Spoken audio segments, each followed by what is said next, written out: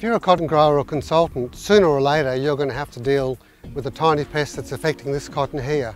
That's two-spotted spider mite. Spider mites have a very fast life cycle and, um, and can build up in crops very quickly. Each mite is tiny, but because the population builds so quickly, tiny amounts of damage from individual mites can gradually add up to a lot of damage in the crop. Most cotton crops have mites in them right from seedling emergence.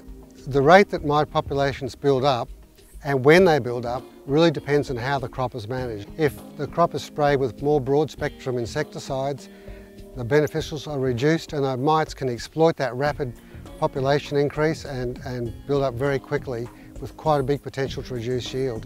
Yield loss from mites is a product of when the mites start in the crop cycle and how quickly they increase. If they start early and increase quickly, the yield loss potential is high. If they start late and increase slowly, yield loss potential is low. This leaf shows typical mite damage. You can see the mites tend to start at the base of the petiole here where the leaf blade joins the petiole and also they particularly prefer these folds in the leaf because of the fact that they're nice and protected for a soft-bodied um, pests like spider mites which are very susceptible to desiccation and drying out. If you turn the leaf over, those damaged areas there are reflected on the upper surface with this reddening. that starts, often starts here near the base of the petiole again, but also as you can see where they're in that fold, you've got that typical red symptom. So as you're walking into a crop to check for mites or another pest, you can be looking for signs of this damage on the way through the crop. So there's a wide range of beneficials that are really important in controlling two-spotted spider mite.